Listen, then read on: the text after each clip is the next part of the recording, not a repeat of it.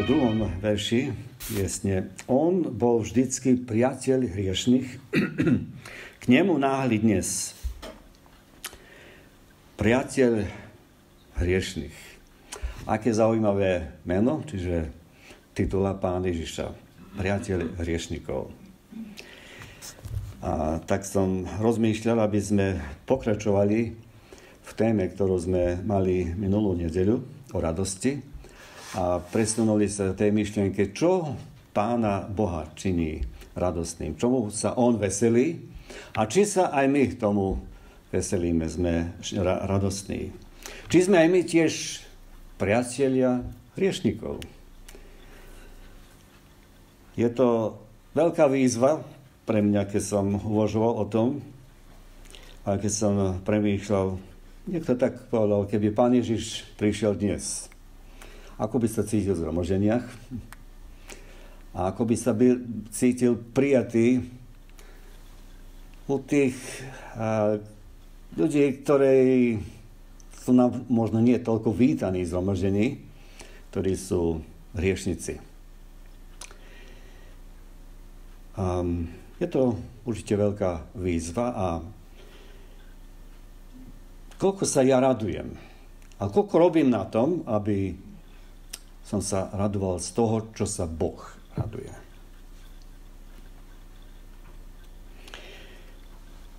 Jedna kapitola, ktorá nám veľa hovorí o radosti zo spasenia hriešnikov, je Lukáš, 15. kapitola. Tam máme tri príbehy zapísané, a každý príbeh končí radosťou. Končí tým, že niekto sa radoval nad niečím. Prečítame si tú kapitolu. Lukáš 15. kapitola. Teda verím, že nám nebude na odmet eh, prečítať ju celú. Ja budem čítať z roháčkovho prekladu. Lukáš 15. kapitola. A približovali sa k nemu všetci publikáni a hriešnici, aby ho počuli. A farizovia zákonníci reptali a vraveli, tento príjma hriešnikov a je s nimi. A on im povedal toto podobenstvo a riekol. Kto z vás je taký človek, ktorý má 100 oviec a keď stratí jednu z nich, nezanechá tých 99 na púšti a nejde za to stratenou, dokiaľ je nenájde. A keď nájde, vezme na svoje plecia a raduje sa. A keď príde domov, zvolá priateľov a susedov, povie im, radujte sa so mnou, lebo sa našiel svoju ovcu, ktorá sa bola stratila. Hovorím vám, že tak bude radosť v nebi nad jedným hriešnikom činiacím pokánie. Väčšia ako nad 99 spravodlivými, ktorí nepotrebujú pokánia.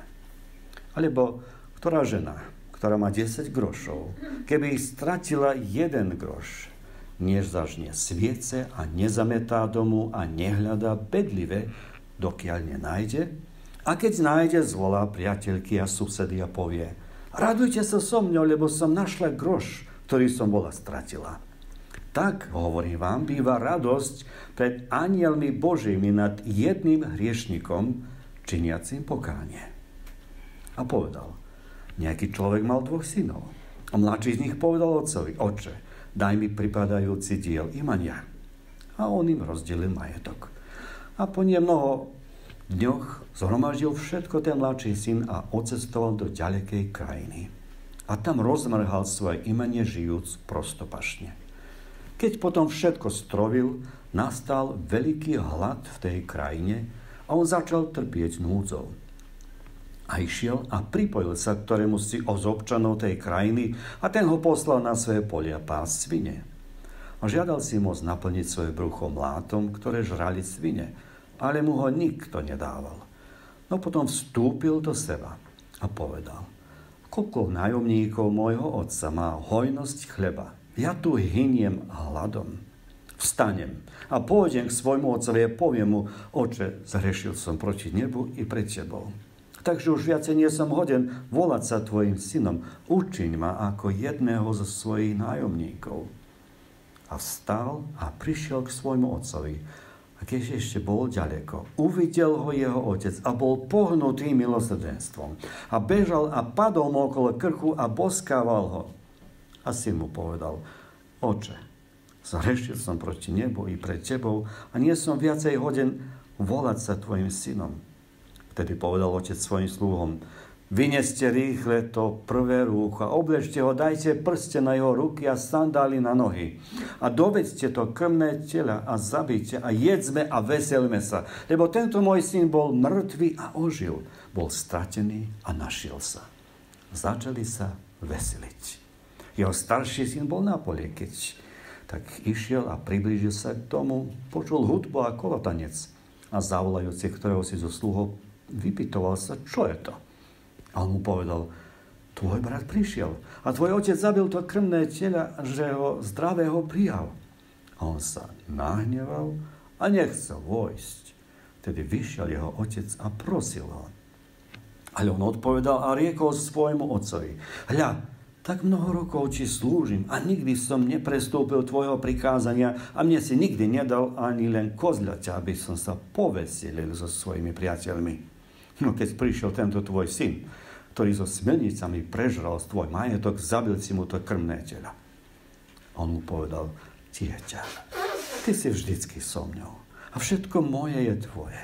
Ale veseliť a radovať sa patrilo, lebo tento tvoj brat bol mŕtvý a ožil, bol stratený a našiel sa.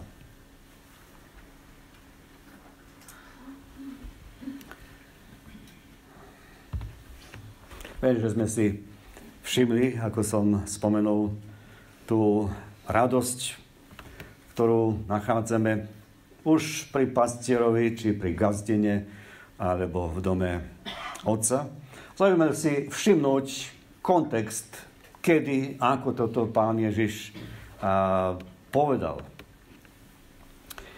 V 14. kapitoli, 25.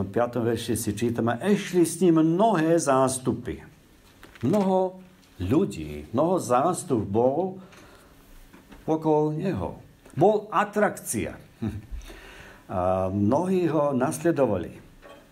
A v prvom verši sme si čítali tejto 15. kapitolu. Všetci publikáni, čiže colníci a hriešníci, aby ho počuli. Čo to bolo tak príťažlivé pre týchto ľudí, že ho chceli počuť. A pýtam sa, je niečo príťažlivé pre ľudí na mne, že ma chcú počuť?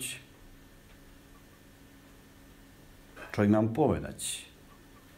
Aké slova sú, aké slova vychádzajú zo mňa, že by ľudia chceli počuť?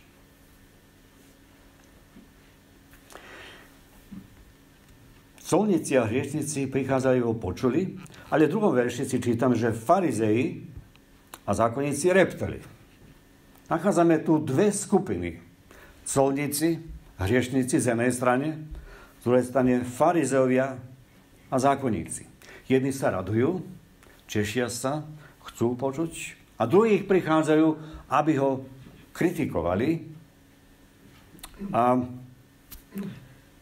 hovorili, tento príjima hriešnikov a je s nimi.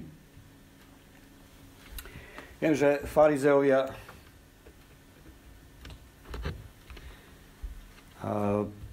považovali, že sú dve skupiny ľudí na svete.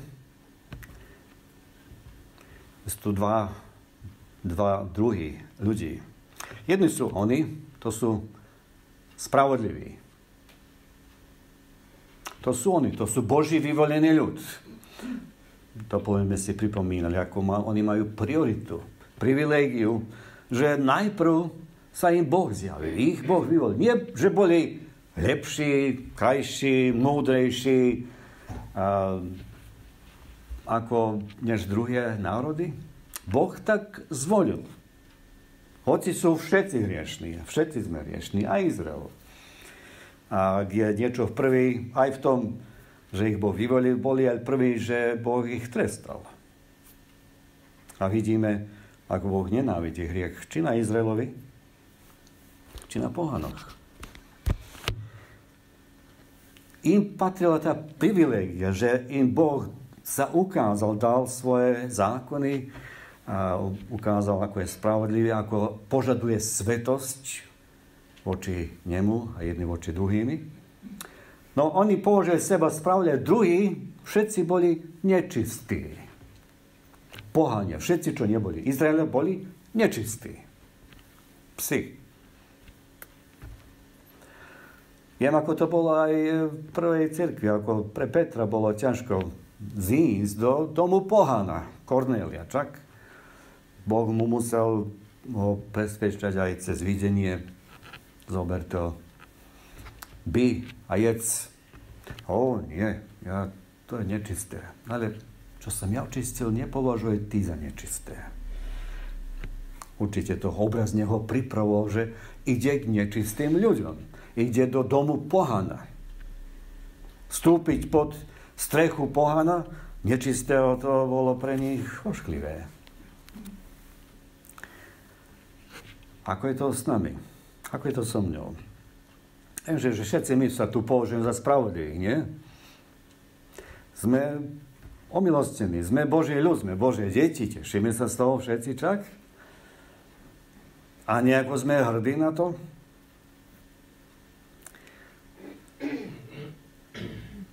je veľké nebezpečie považovať seba ako väčšieho a hodnejšieho než iných.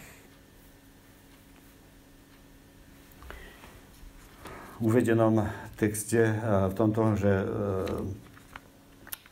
Lukáš hovorí o druhom prípade, keď pán Ježiš bol v dome farizea, a že prišla hriešnica, prosil ho, ktorý si z farizeo, že by jedol s ním. A potom prišla jedna hriešnica a keď videl, ako ju pán Ježiš prijal, keď to videl farizeo, ktorý ho pozval, povedal sám v sebe, keby tento bol prorok, vedel by, kto a aká je to žena, ktorá sa ho dotýka, lebo je hriešnica ja s takým, ja sa ne, nechcem mať nič spoločné.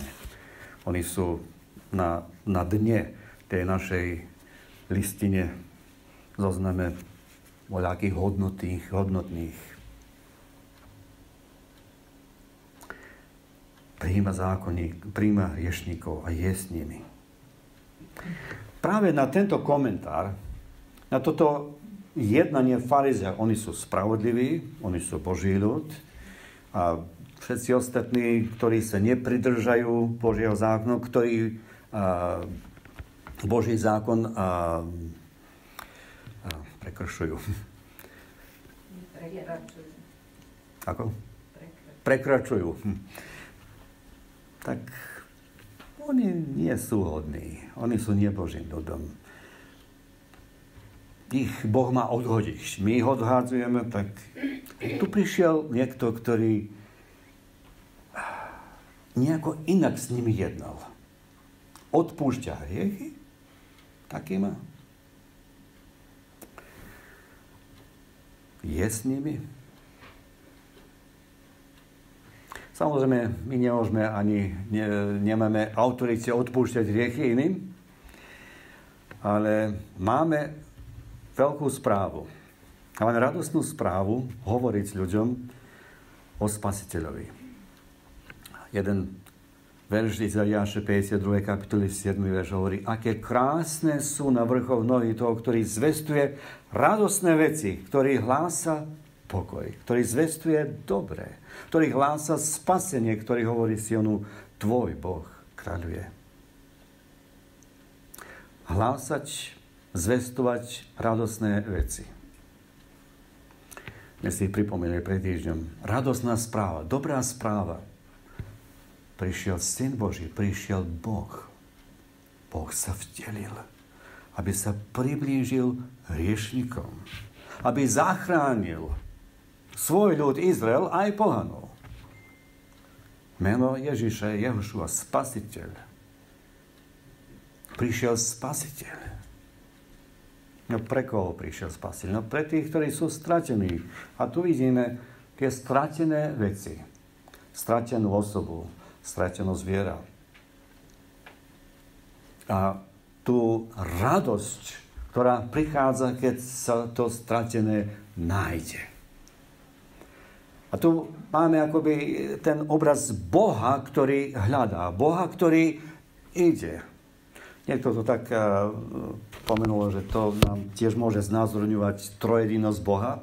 V prvom prípade vidíme pastiera, pán Ježiš dobrý pastier. V druhom prípade vidíme ženu, ktorá všetko upratuje, zasvietí, čistí. To môže byť obraz na Svetého Ducha.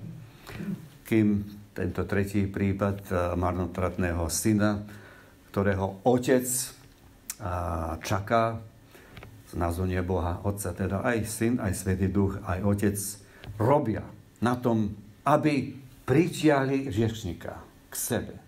A to tak aktívne, že idú hriešnikovi, hovoria mu, hľadajú. Lukáš opisuje ako centrálny uh, veršík svojho Evanília. Pán Ježiš povedal v Zachejovi 19. kapitoli, že syn človeka prišiel, aby hľadal a našiel to, čo bolo zahynulo. My sme boli tí, ja som bol, ty si ten, ktorý sme zahynuli, ktorý sme hriešni, ktorý potrebujeme spasiteľa.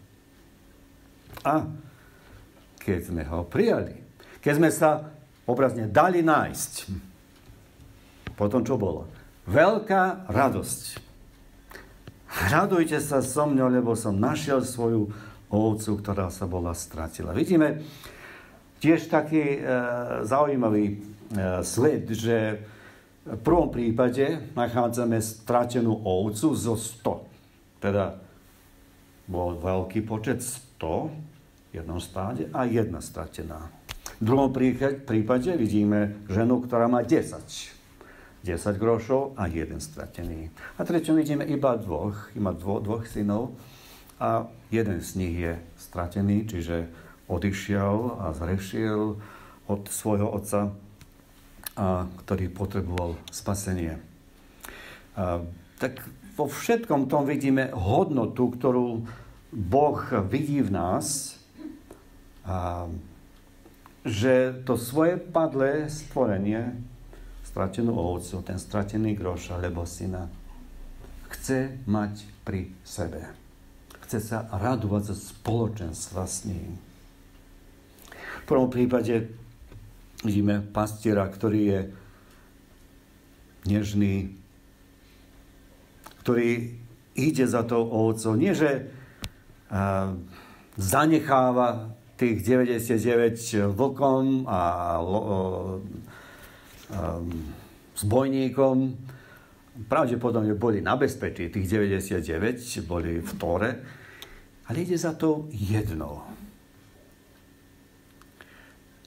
Ako by dal obraz, vy ste tých 99, vy ste tlmočníci, vy sa považujete, že ste už nájdení, že ste Boží ľud.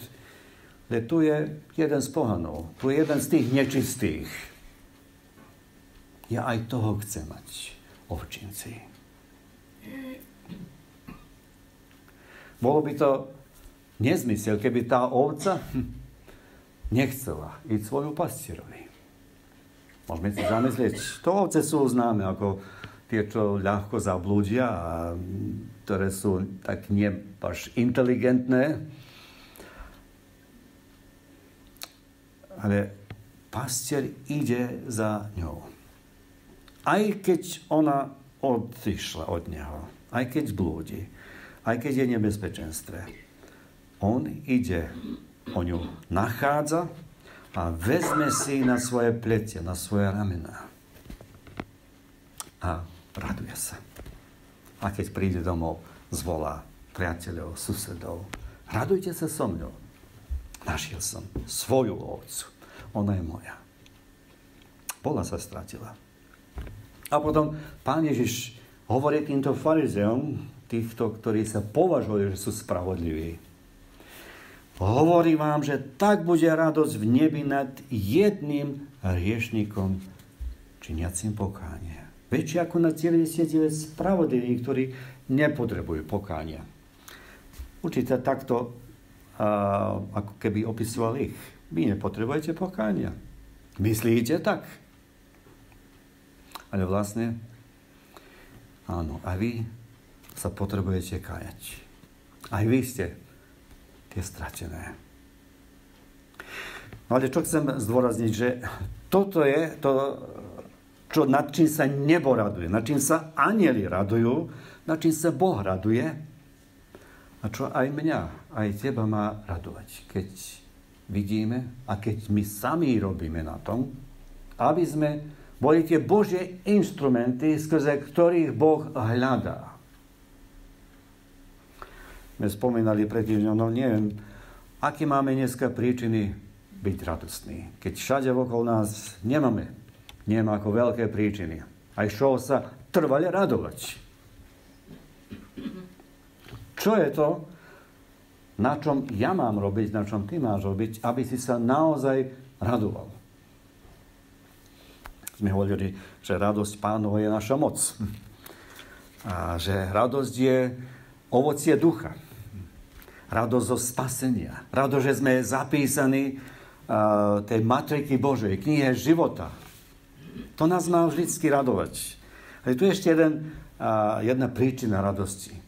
Jeden, jedna cesta, aby sme sa radovali z toho, keď komu posvedčíme, keď hovoríme ľuďom evanie, keď máme tie nohy pripravené zvestovať radosnú správu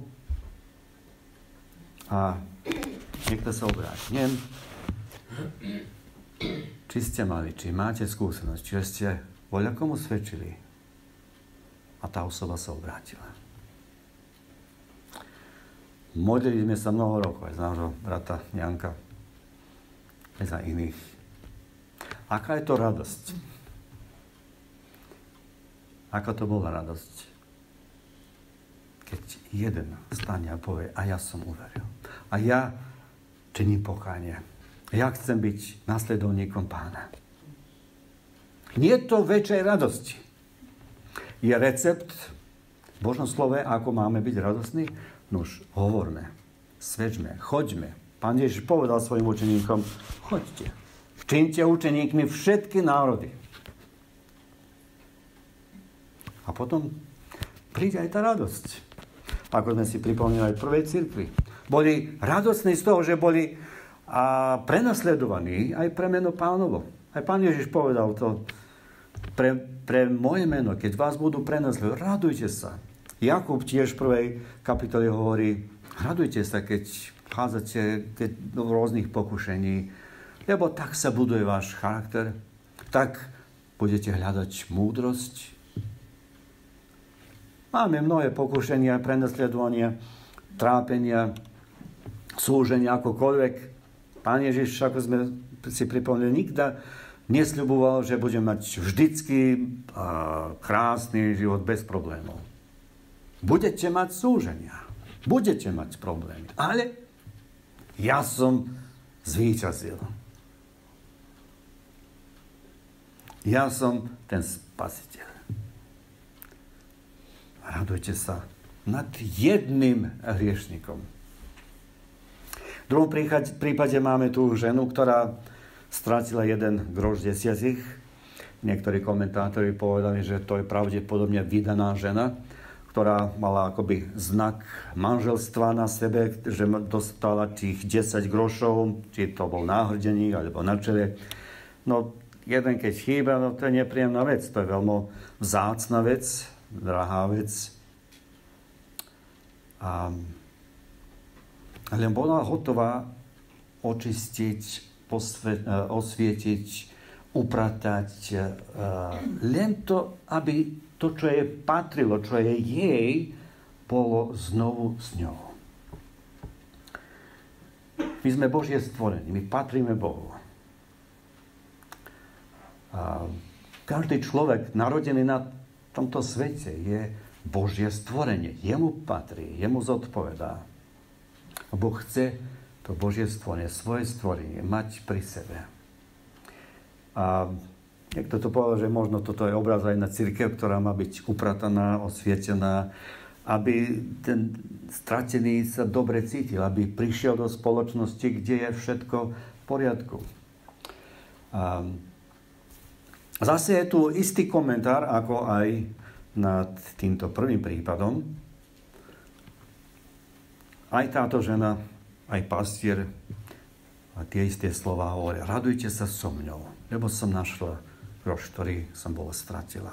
Tak hovorím, býva radosť pred anielmi Božími nad jedným hriešnikom činiacim pokánie.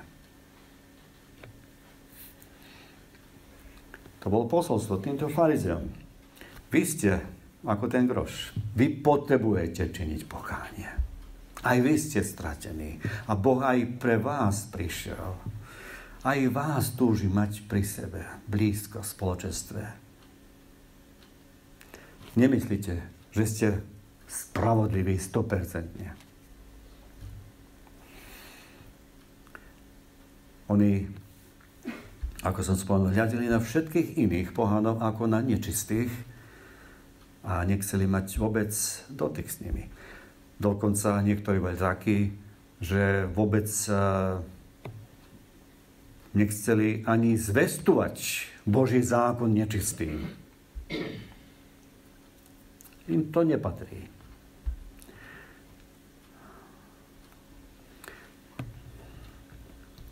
Áno, všetkým patrí, aby počuli to krásne slovo. A sú dva verše, ktoré nám hovoria, ako sa Boh raduje nad človekom. Izaja 62. kapitol 5. verš. Lebo ako si mládenec vezme panu za ženu, tak si ťa vezmú tvoji synu. A ako sa ženich raduje svojej neveste, tak sa bude tebe radovať tvoj Boh. Z teba. Tebe sa bude radovať tvoj Boh. Boh má radosť človeka, ktorý bol hriešnikom, ktorý počúva radosnú správu, uverí jej. A tiež aj eh, u Sofoniáša, ten som ešte nenapísal. Isto podobný uh, text Sofoniáš 3.17. Hospodin tvoj Boh je v tvojom strede údatný hrdina, ktorý zachráni. Veseliť sa bude nad tebou radosťou. Mlčať bude vo svojej láske. Bude plesať nad tebou s prespevovaním. Boh, ktorý plesá nad človekom. Nad jeho ľudom. Nad hriešnikom. A ktorý jednoducho má radosť, že ešte jeden prijal to pozvanie. Zachránený je. Je v mojom dome. Apoštol Ján tiež zapísal, že väčšie radosti na to nemá, než aby som počul, že moje deti chodia v pravde. Väčšie radosti. Mať bratov a sestry, ktorí sú na správnej ceste, ktoré, ktorí majú to spojenie s Bohom, ktorí sú ospravedlnení hriešnici drahoceného krvou Pána Ježiša Krista, ktorí chodia, žijú v pravde. Si pripomínali tiež aj pred týždňom, Pavel povedal Tesaloničanom, vy ste naša radosť. Teda veriaci, keď vidí spoluveriacich, a zvlášť tých, ktorí skrze slovo, ktoré bolo hovorené, sa zachránili, má veľkú radosť. A pamätám sa, keď bola evangelizácia s Berry Múrom, tak jeden mládenec, ktorý tuto tam vzadu sedí, pri, mama priviedla, že aj on chce sa obrátiť, čiže počuť, uh, pomodliť sa, či ako už to bolo, sa nepamätám, ale uh, radosť vidieť to dieťa, ktoré túži po spasení. keby takto bolo mnohé ešte. Vidieť hriešníkov, ktorí chcú prijať Božie slovo, ktorí chcú činiť pokánie, ale usilujem sa ja na tom, aby som naozaj bol tým Božím instrumentom, aby moje nohy boli tie, skrze ktoré Boh hovorí, prichádza k ľuďom.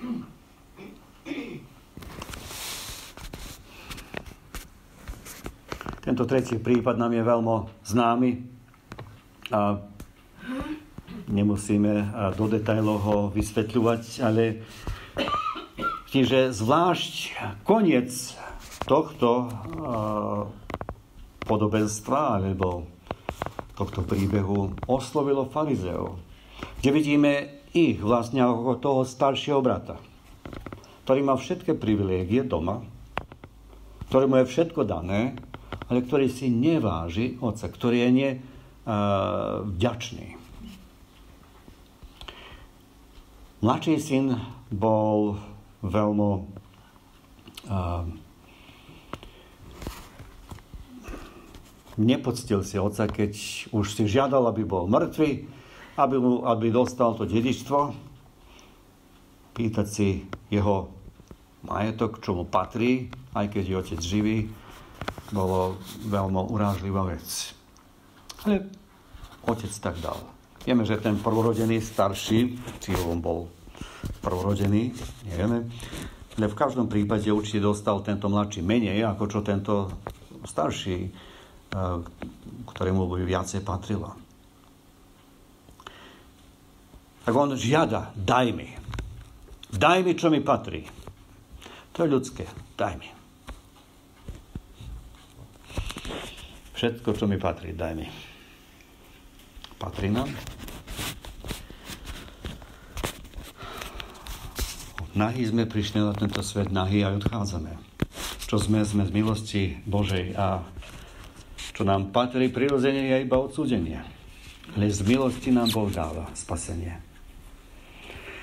Keď prišiel k sebe tento mládenec, tento marnotratný syn, keď sa rozhodol, že ide naspäť, Vidíme otca, ktorý beží v ústrety, čo je celkom neprirodzene aj uh, tak uh, ispod časti, čo sa povie, že beží.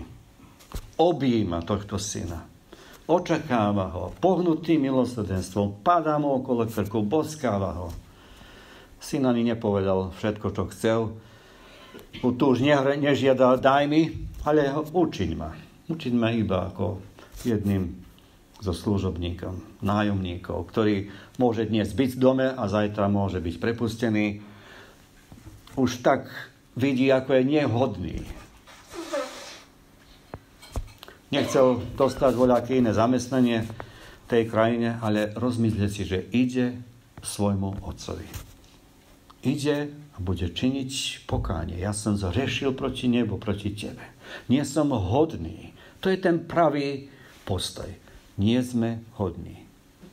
A farizavia to nemali v sebe, že o, oni sú hodní, oni sú lepší, oni sú spravodliví, oni sa pridržajú zákona, oni sú veľmi pedantní, aby všetko dodržiavali soboty, e, desiatky, umývanie rúk a tak ďalej. Môže byť veľké nebezpečenstvo aj u nás, že no, my pravidelne chodíme do zóny, my si čítame Bibliu, my neviem, čo aj to robíme, aké aktivity máme. My sme hodní. Nikto z nás je nehodný. Hoci keľko dlhý stáž máme ako veriaci. Tento starší brat vidíme, že bol nevďačný. Závislý. závidel Závidel teraz, ako sa otec to zmiloval. Namiesto, aby sa radoval, on sa hnevá. Nenávidí. A vidíme zase to srdce oca. Toto je viac podobenstvo o milujúcom, milosrdnom otcovi, než o marnotratnom synovi, kde nachádzame otca ako centrálnu osobu v, tejto, v tomto podobenstve ktorý hovorí svojmu dieťaťu. Hovorí dieťa. To je ešte krajšie oslovenie než syn môj. To je také ľúbezné, také krásne, milé oslovenia. Kde on tohto arogantného staršieho syna oslovuje. Ty si vždycky so mňou. Všetko moje tvoje. Oslovuje tých farizeov. Hľa, všetko vám Boh dal. Dal vám zákon. Mali ste vidieť svoju nehodnotu, svoju, svoju uh, slabosť a že potrebujete milosť. Ale veseliť a radovať sa patrilo, lebo tento tvoj brat, nehovorí môj syn, tvoj brat,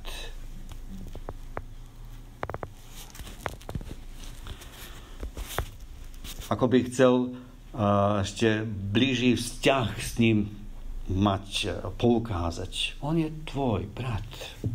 On je tvoj z tejto istej rodiny. Ako si si môj syn, aj on je môj syn.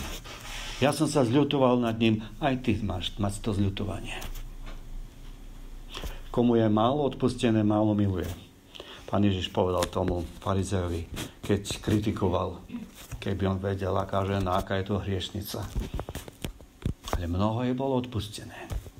Kýmkoľvek si neuvedomujeme, koľko je mne, koľko je tebe, tak odpustené.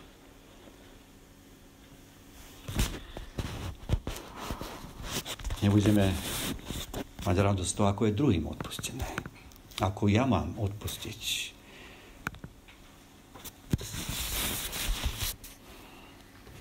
Bratia, sestry, iba som túto myšlenčku chcel s nami všetkými sa zdeliť a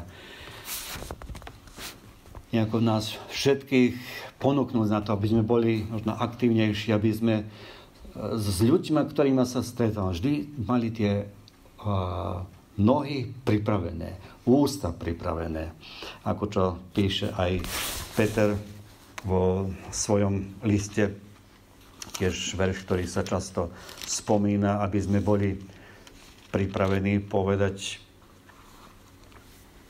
Posvedcujte Pána Boha o svojich srdciach, buďte vždycky hotoví. Zodpovedať sa každému, kto žiada od vás počet o nádeji, ktoré je vo vás krotkou, tichosťou a bázňou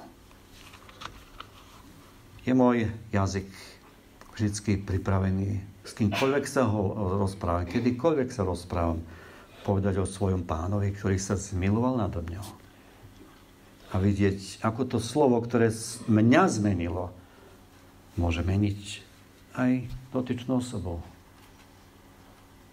Myslím, že dneska v dennom čítaní taký príbeh o žene, ktorá bola sklamaná u kresťanov za to, že ju zranili neviem čo. A jej dcera prijala pána a modlila sa za svoju mamu.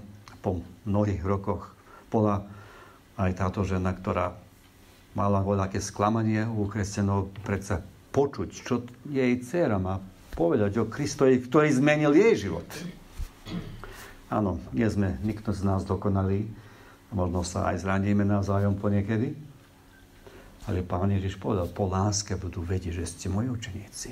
Tá láska, ktorá je medzi nami, má poukazovať na tú vyššiu lásku, že sme prijali lásku odpustenú nášho Otca a že to chceme aj s druhými zdieľať. Povedať, áno, aj tebe Pán miluje. Hoci ako si veľký hriešnik, Pán sa aj tebe chce zmilovať. A nič mi nerobí veľkú radosť, keď budem vidieť, že si aj ty ten z hriešníkov, ktorý činí pokánie, ktorý prichádza pánovi, ktorý ho hľadá. Hľadá aj skrze to, čo ti poviem teraz, evanium, ktoré mňa zmenilo. Radovať sa patrí. Nož robme na tom, na tom, aby sme skúsili ešte väčšiu radosť v týchto pohnutých, nebezpečných časoch, aby pán použil aj všetko, čo sme pre to, aby pritiahol iných k sebe. Na záver chcem ešte jeden citát sa zdeliť od brata Alexa Kuriana, ktorý hovoril o Božej autorite, o Božej suverenite. A je to určite na, pre nás pozbudenie, keď, keď si uvedomíme, aký je veľký Boh po svojej múdrosti, ako sme si aj doplne pripomínali. Boh je absolútne zvrchovaný. Nie väčšinou zvrchovaný, ako sme pokušení myslieť si.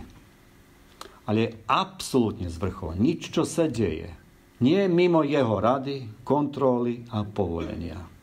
Je zvrchovaný všemohúci. Všetky veci má plne pod kontrolou. Je vlastníkom všetkej moci a autority na zemi, nad zemou, pod zemou a vo všetkých záležitostiach týkajúcich sa celej existencie.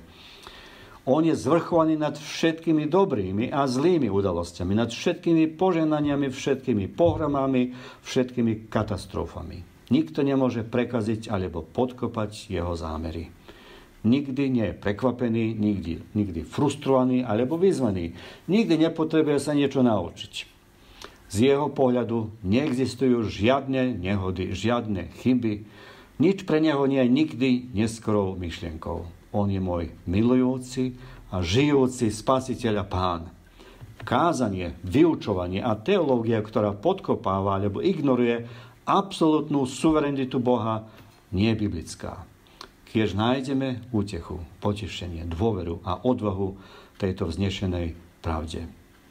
Boh, absolútne zvrchovaný spasiteľ, ktorý sa raduje z toho, keď jeho stvorenie, jeho padlé stvorenie, hriešník, ktorý je posvetený, teraz zvestuje to nádherné slovo a používa našu slabosť, naše slova aby pritiahol ľudí k sebe. Boh, nás chce použiť. Je to úžasná privilégia, že Boh chce použiť teba a mňa ako inštrumenty, skrze ktoré osloví druhých. A bude sa radovať On a budeme sa radovať aj my, keď budeme verní v tej službe zvestovania Evanielia. Postavme na modlitbu.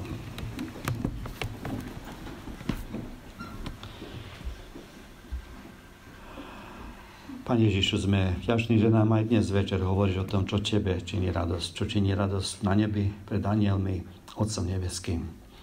Pane, chceme aj my mať tú radosť. Chceme mať oveľa viacej aj takých, ktorí sú zachránení aj v našom strede, aj v tejto dedine. Pane, poukáž nám, každému z nás, ako môžeme slúžiť, ako tie hotové nohy, pripravené hovoriť evanelium. A naše ústa by boli naplnené Tvojou chválou o Tebe, ktorý si absolútny Pán, suverený Pán, Spasiteľ, žijúci, prichádzajúci, slávny Spasiteľ, náš Spasiteľ, náš dobrý pastier. Pani, ďakujeme Ti za posolstvo Evanília, ktoré nám bolo zvestované. A na radosťou, ktorá bola v nebi, keď si nás zachránil. Pane, daj, aby ešte mnohí boli spasení aj skrze svedectvo, ktoré z milosti aj my podáme iným ľuďom okolo nás. Pane, ďakujeme Ti za bohatstvo Tvojho slova, za pozbudenie, potešenie, napomenutie, ktoré v ňom nachádzame. Nech je Tvoje meno oslavené v našich životoch. Amen.